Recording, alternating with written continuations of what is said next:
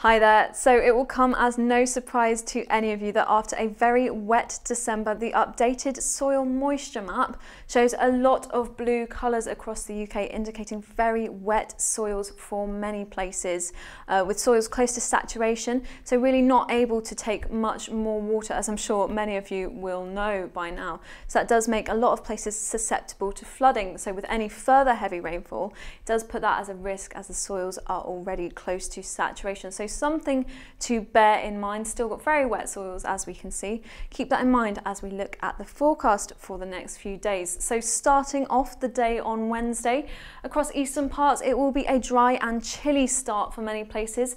However, we will have cloud and rain across western parts at first, soon spreading eastwards as we go through the day on Wednesday, potentially turning wintry on this leading edge as we go through the day as it moves eastwards. So the risk of some freezing rain, some sleet, some snow, most likely over higher ground in the north, but definitely a potential, so keep that in mind perhaps not reaching sort of far eastern parts until the very end of the day. So maybe staying dry, drier in some places here, but also in the southwest, a few drier intervals, but this uh, spell of rain then pushing in towards the end of the afternoon as well. So a mixed bag for Wednesday. And as we go into Thursday, it looks like this rain will sort of linger across many parts throughout the day on Thursday, as you can see here. So the potential for some further spells of sleet or snow at times as that lingers in the east. And with rain lingering for quite a lot of the day, also the potential for flooding in a few places. So do keep that in mind. But for elsewhere in the UK, although there may be a few spells of rain in the south at first, we'll have this ridge of high pressure building throughout the day. So helping to bring a settled end to Thursday for many places. Now looking towards Friday, we've got this area of low pressure just to the southeast, so that might bring a few spells of rain to southeastern parts at first. But as we go through the day, that will generally clear towards the continent, and we'll have this ridge of high pressure bringing many settled conditions for many places on Friday, before into Saturday, this area of rain starts to spread eastwards once again. So further rain likely on Saturday, so do keep that in mind. But towards the end of Saturday, this little ridge of high pressure coming to southwestern parts with just a few showers possible in the northwest.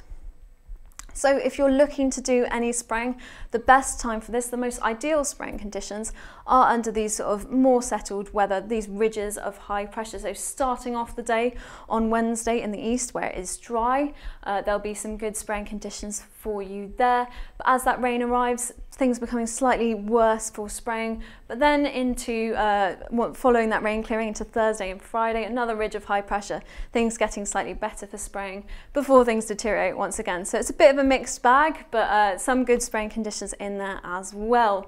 So let's go on to the forecast for early next week. But before we look at this, just uh, going into Sunday, it does look like there'll be a ridge of high pressure following that spell of rain that we saw on Saturday.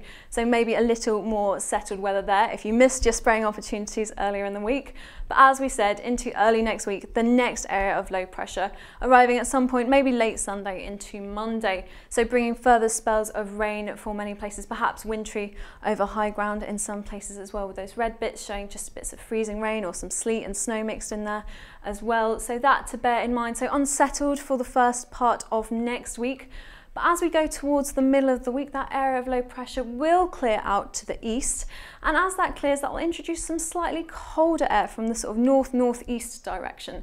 So feeling colder for many places as we go towards the middle of next week. You can see the sort of wintry mixture of things we've got up to the north there, indicating some wintry showers sort of starting to come into the northwest. So some cold air, bringing the risk of frosts and icy patches once again and reintroducing that sort of more wintry weather.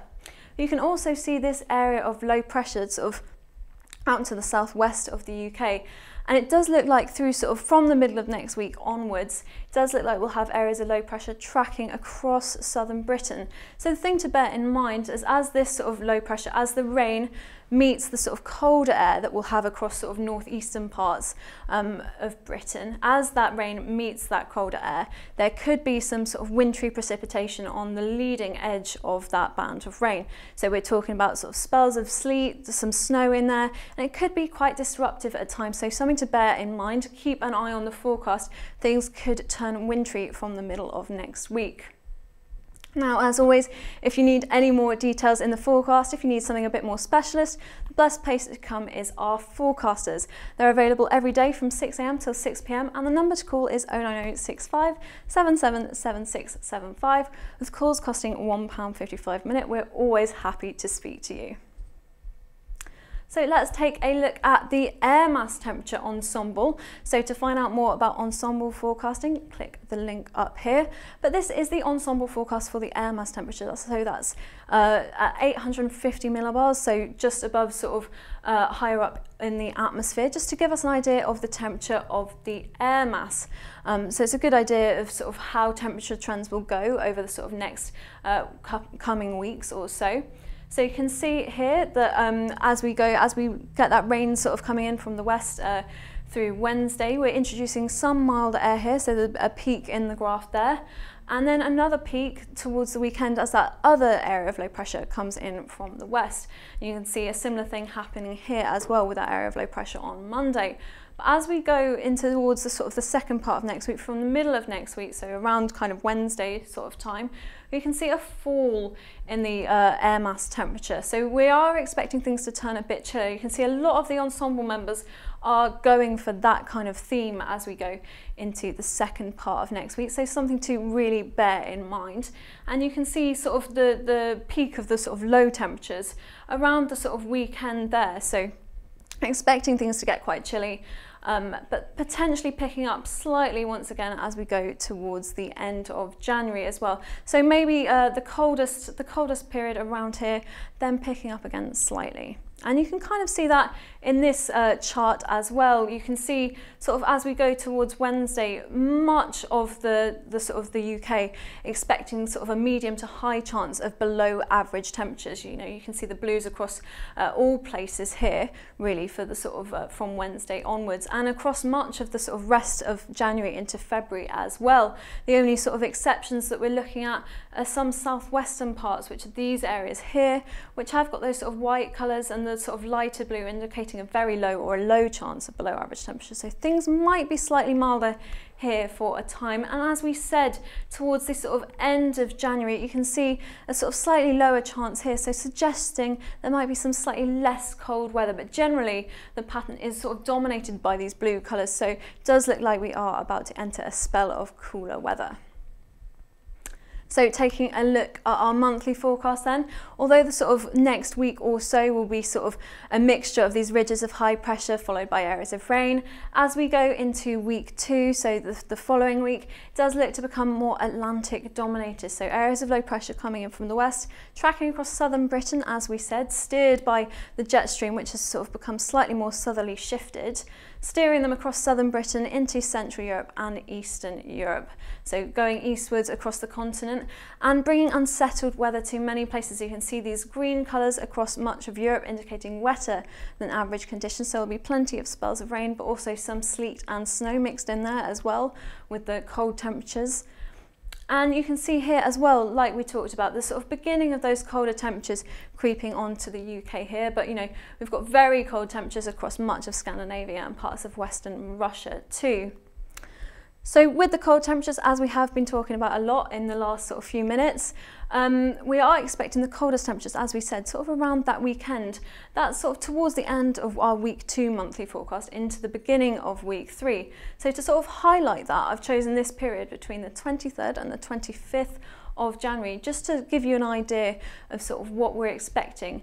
And this is the mean um, the, the percentage chance of mean temperatures to be uh, 5 degrees below average. So you can see across the map here, looking towards the UK, we're looking at a 10 to 20% chance of temperatures 5 degrees Celsius below average. So that's quite a high chance and even higher across some parts of Scotland. Slightly lower in some southwestern parts where, as we said, things may be a little milder for a time, but just highlighting that we are expecting a cooler spell of weather. So this is definitely a period of time to keep your eyes on. So as we go into week three, not much change in the pattern actually. We're still expecting areas of low pressure to sort of track uh, eastwards across the, the continent, across southern Britain and then into Europe. Uh, as per the previous week and really not much change in the precipitation sort of pattern either with still a lot of those green colours across uh, central parts of Europe and really the only brown colours towards the north and the south there indicating drier than average conditions looking at the temperature anomaly, um, as you can see, we have still got a lot of blues across the sort of northern parts of Europe and across northern uh, Scotland, but we are expecting the coldest temperatures to be at the start of this uh, period, so the start of uh, week three, and as we go into sort of the towards the end of January, towards the last part of week three, we're expecting some slightly milder conditions. So that's what skewed this map here. Those slightly milder conditions bring those white colours onto the map and balancing out the cold temperatures that we'll see in the start of the week. So quite a lot of change expected in the temperatures for week three.